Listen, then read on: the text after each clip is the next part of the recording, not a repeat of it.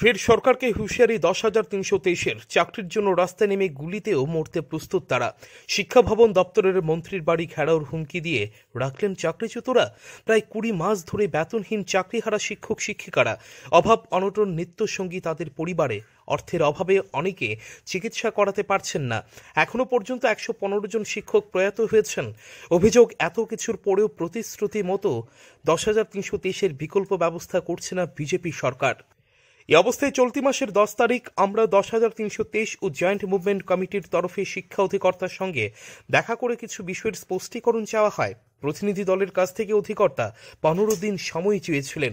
সোমবার ফের দুই সংগঠনের তরফে বিজয়, কৃষ্ণ সাহা, অমূল্য দেববর্মা, কমল দেব সহ কয়েকজন অধিকর্তার সঙ্গে দেখা করলে জানানো হয়, এখনও উপর মহল থেকে সেসব বিষয়ে কিছু জানানো হয়নি। তাই এদিন চাকরিহারা শিক্ষকরা দশ দিন সময় দিয়ে আসেন। এরপরেও কোনো সদুত্তর না মিললেও আন্দোলনে নামার হুঁশিয়ারি দেন। প্রয়োজনের রাস্তায় নেমে চাকরিহারা শিক্ষকরা গুলিতেও মরতে প্রস্তুত। আমরা মেমোরেন্ডাম দিয়েছি যে আমাদের কিছু স্পষ্টীকরণ চাই। এই স্পষ্টীকরণের জন্য উনি আমাদেরকে দশ থেকে পনেরো দিন সময় চেয়েছিল। পনেরো দিন পেরিয়ে আজ সতেরো, আঠারো দিন হয়ে গেছে। আজও তাদের দপ্তরের কাছে ক্লিয়ারিফিকেশন আসেনি।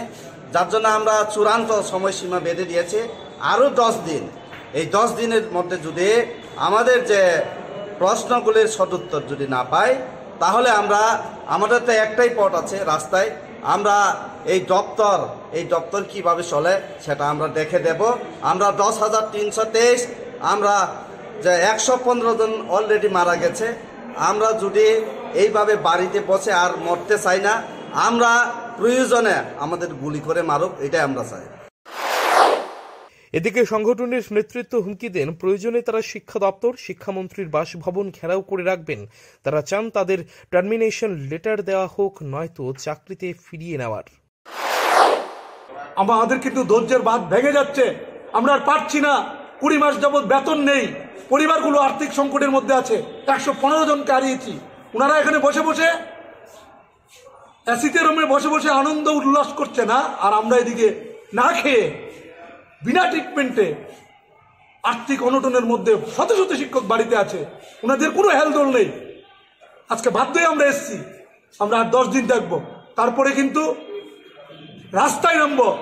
প্রয়োজনে আপনারা যা খুশি তা করুন। তার জন্য যদি কোনো আমাদের সহকর্মীদের উপরে কোনো ধরনের আঘাত আনে তার জন্য দায়ী থাকব রাজ্যের প্রশাসন এবং শিক্ষা দপ্তর। রিপোর্ট, চ্যানেল তিন রাত।